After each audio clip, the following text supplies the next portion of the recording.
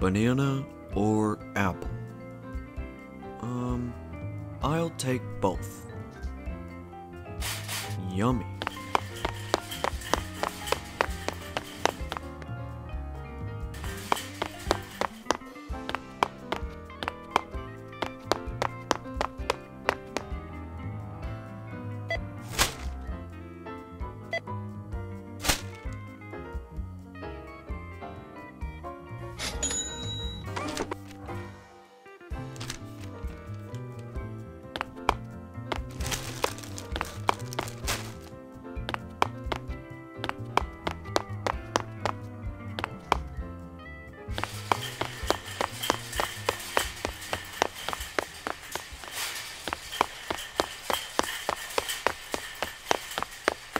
Have a good day, Dan. You too, Greg.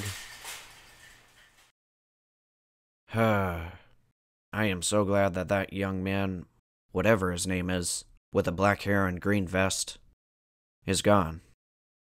No one's ever complained to me like that, but I'm already sick of it. Good riddance.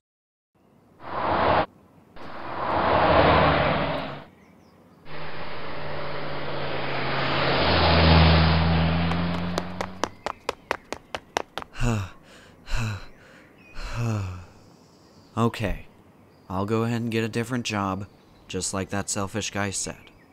But what will the job be? I better keep walking until I can find one.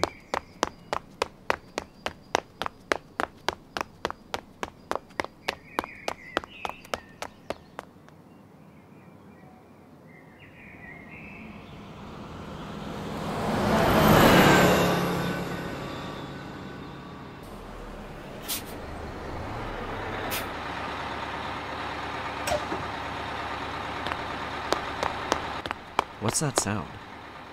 Oh.